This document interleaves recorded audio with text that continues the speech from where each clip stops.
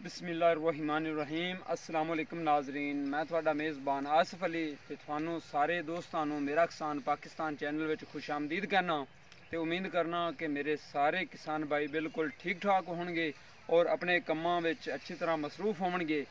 ਤੇ ਕਿਸਾਨ ਵੀਰੋ, ਮੈਂ ਤੁਹਾਡੇ ਵਾਸਤੇ ਵੀਡੀਓ ਲੈ ਕੇ ਆਇਆ ਕਿ ਜਿਵੇਂ ਕਿ ਕਣਕ ਦੀ ਹੈ, ਫਸਲ, ਇਹਦਾ ਆਪਾਂ ਨੂੰ ਬਹੁਤ ਖਿਆਲ ਕਰਨਾ ਚਾਹੀਦਾ ਹੈ। ਇਸ ਵਾਰੀ ਵੈਸੇ ਵੀ ਆਪਣੇ ਪੰਜਾਬ ਪਾਕਿਸਤਾਨ ਵਿੱਚ ਕਣਕ ਬਹੁਤ ਕਮ ਹੈ।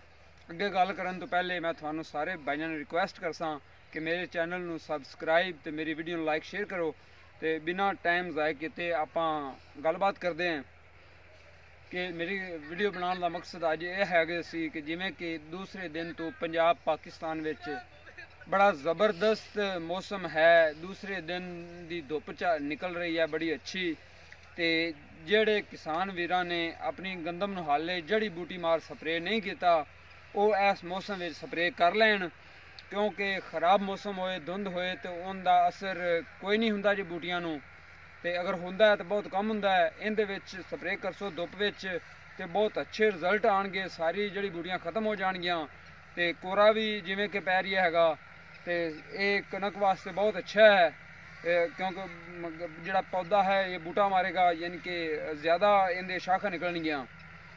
ਤੇ ਸਪਰੇਅ ਜਲਦ ਤੋਂ ਜਲਦ ਕਰ ਲੈਣਾ ਚਾਹੀਦਾ ਜਿਵੇਂ ਕਿ ਤੁਸੀਂ ਮੇਰਾ ਪਲਾਟ ਵੇਖ ਰਿਹਾ ਜੇ ਮੈਂ ਪਹਿਲਾਂ ਪਾਣੀ ਲਾ ਕੇ ਸਪਰੇਅ ਵੀ ਕਰ ਚੁੱਕਾ ਹਾਂ, ਮੇਰੀ ਜਿਹੜੀਆਂ ਬੂਟੀਆਂ ਵੀ ਖਤਮ ਹੋ ਚੁੱਕੀਆਂ ਹਨ।